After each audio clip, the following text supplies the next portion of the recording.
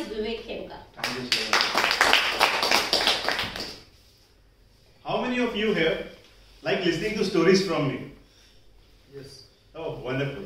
So let me tell you a story of Vijay. Vijay is a young boy who hails from a village and he's come to city for the first time. He's mesmerized looking at the high-rise buildings, the beautiful bungalows of the city. He's standing outside one of those beautiful bungalows and suddenly the owner comes out and insults him. Vijay becomes furious and he take, takes a pledge. One day I'll buy this house.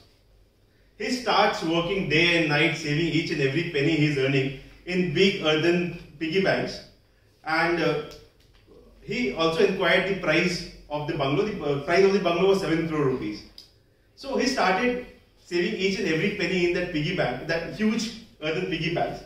And after six years, when he thought that he, had, he has saved enough money to buy that bungalow, to, to buy that bungalow, he broke that piggy, piggy bank, took all the money in the sacks uh, on a wooden cart, went outside that bungalow, and without any veneration, shouted at the owner to come out and say with full attitude, "Hey, here's your seven crore rupees. I'm buying this bungalow." To what this owner replied, even your ears will fall off. He said, seven crores?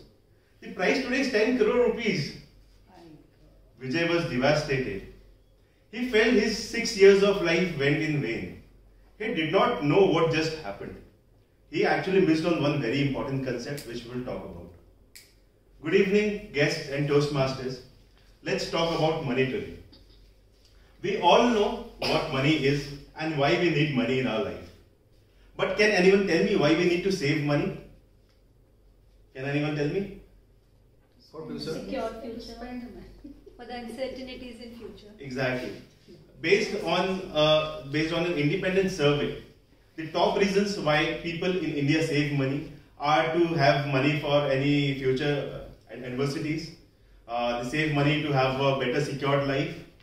People save money for any uh, financial goal like buying a own house or for the children's education or for child marriage or uh, ju- just to have a, a safe and secure life. The second question that comes into our mind is how much money should we save?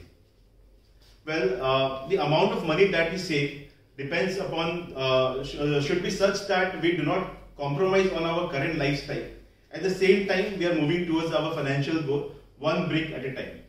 Based on a report by CEIC, which is, an, which is a global uh, survey company, an average Indian saves around 31% of their monthly earnings. The next question that will come into our mind is where should we keep the money that we have saved? Well, this depends upon the purpose for which we are saving because with that we can know the time which we have for keeping the money, the uh, degree of liquidity that is required, and also the amount of risk that we can take. Also, we should ensure that our money is not eroded by inflation. As per the data released by Ministry of Statistics and Program Implementation, the average inflation in India is around 6%, which means that if our saving is not growing by 6%, it is actually depreciating. And this is where our hero Vijay got trapped into. So uh, when we talk about where we should keep the money, the various avenues that we have are we can either cap all the money in cash, we can keep it keep it in bank, or we can give it as loan to someone, or we can invest it. The wiser decision is to have a mix of all, not to lay all the eggs in the same basket, because we have to ensure the liquidity. We also have to ensure the returns. If we keep the money in uh, either in bank or in cash, we can ensure liquidity, but we cannot ensure the return. We cannot beat the inflation. So we have to have a mix of all. The other avenues uh, that, uh, that are available are real estates, uh, share market, mutual funds, post offices, cryptocurrencies, gold. But we need to consider, we need to ascertain the amount of risk that is associated with all of these.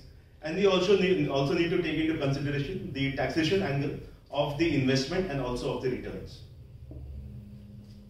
When we were in school, compound interest would mean P into 1 plus R by 100 to the power n. But when we talk it in the terms of investment, it has got an all different meaning. Uh, Trisha, tell me, if you are investing 10,000 rupees every month for 20 years, how many, how, how much money would you invest? 24 lakhs. 24 lakhs, correct? But if it is growing at an uh, annualized rate of uh, compounded rate of return of 12%, do you know how much amount will it come up to? It will be 1 crore rupees. And if the period is expanded by 5 years for 25 years, the total investment will be 30 lakhs, while the uh, value of investment will be 1 crore 70 lakhs. Now that's the power of compounding. Longer the period, higher the returns.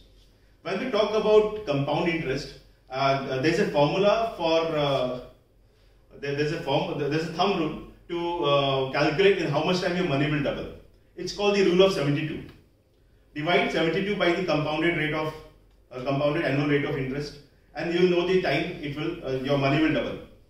Suppose uh, if someone is offering you uh, an annual ret- compounded return of 12%, it means your money will double in 72 by 12, 6, 6 years. If someone uh, offers you to double your money in 4 years, that means uh, they are offering you a compound rate of return of 18%. If someone says your money will double in 25 days, be careful. It can be fir hera feri.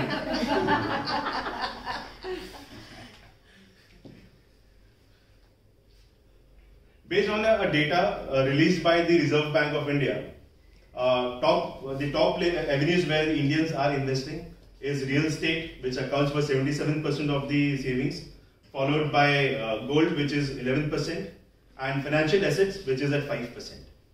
When we talk of financial assets, uh, the country's favorite is fixed deposits, which is around, uh, which is accounting for around 151 lakh crore rupees. And also there is mutual funds, which is growing at a faster pace with 38 lakh crores presently. Now, are you uh, willing to know whether Vijay was able to buy that house? Yes. Yes. Well, uh, Vijay met an investment advisor. He invested all of that 7 crore in a mutual fund, which is giving 12% return. He started an SIP of 1 lakh rupees. At the end of 6 years, he had 15 crore rupees, which, with which he was able to beat inflation and finally bought that house. So, I'd just like to conclude by saying that, my dear friends, money wise, be wise. Because life will give us surprise.